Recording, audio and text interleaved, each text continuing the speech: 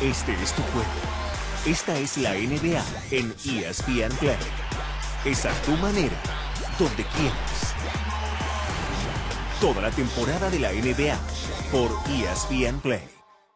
Estamos a 100 días nada más presentándoles a todo el equipo que va a estar haciendo la cobertura en los Juegos Olímpicos. Bienvenidas para nuestro querido hockey, que tantas alegrías nos han dado las leonas. Aquí están Maya Isega, Vamos. Mechi Margalotti, Sí. Luciana Ibar, bienvenida. Vamos, claro que sí.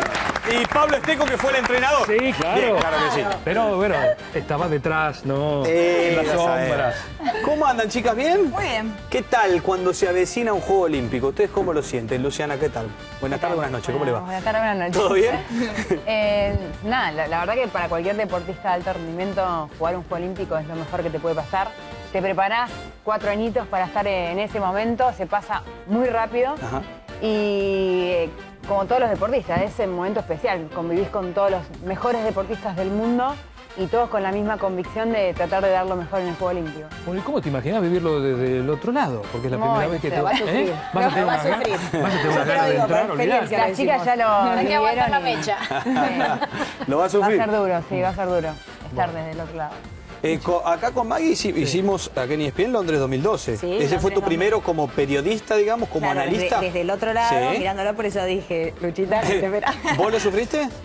Sí, obvio que se sufre, más vale, porque el Juego Olímpico, Lucha lo decía, es eh, la competencia que, si bien uno, eh, a ver, la realidad es un honor haber com- competido y todo, cuando llega el momento, eh, ahora todavía es como que decís, bueno, estás a 100 días y decís, bueno, falta, es como que parece que no te, ah, lo tenés lejos, y a medida que se va acercando, Ahí te va- y ahí te va tocando. Bueno, obviamente, eh, en mi caso ya es el segundo que estoy afuera, entonces ya, ya tuve la experiencia. Pero la primera sí, obvio que te sería mentira decir que, que no, No, se no, extraña no, ni que, no sé, te gustaría jugarlo. Esto, por supuesto, es algo que no le pasó a la periodista Mercedes Margaló. ¿Qué tal? Bienvenida. ¿Cómo estás, Mechi? ¿Qué tal? ¿Cómo estás?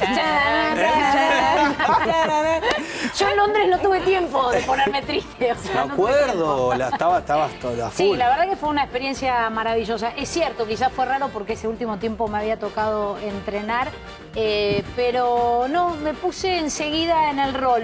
Pero bueno, hay un periodo obviamente de adaptación y de transformación y de exigencia que tiene uno para querer hacer las cosas bien, pero es cierto y me sumo a lo que dice Lucha y Maggie.